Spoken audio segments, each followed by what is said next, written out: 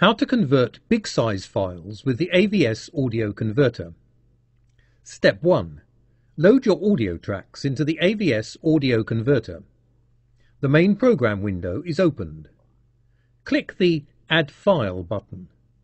Choose the files you need and press the Open button. The files will be loaded. Step 2. Select a format for lossless compression.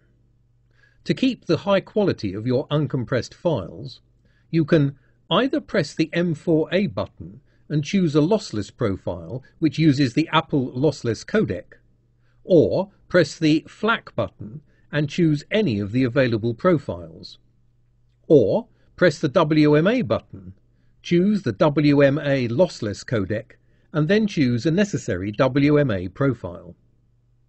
Step 3. Select a format for lossy compression. To simply reduce the file size, select any other format. Open the Profile drop-down list and choose one of the available profiles which suits you best.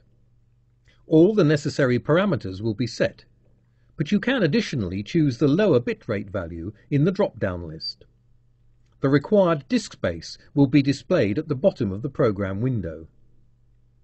Step 4. Convert your audio tracks. Everything is ready for conversion.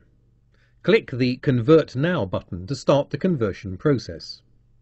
Wait while the program converts your files. That's all. Open the folder to access the resulting audio.